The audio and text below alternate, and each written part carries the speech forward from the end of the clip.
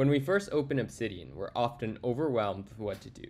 How should I take notes? How do I organize notes? And how do I make a beautiful graph of connections? This video is the simplest way to get started with Obsidian in one minute. First, use daily notes. In these daily notes, you will write everything that happens for that day, whether you're in a meeting, in a class, or taking quick notes.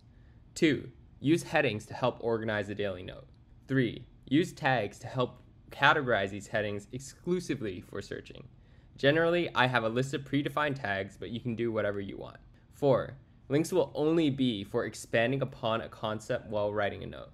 This concept can be generic concept or something highly personalized. Some examples include time is money, how to fold laundry my mom's way, and Pythagorean's theorem. Number 5. Just write.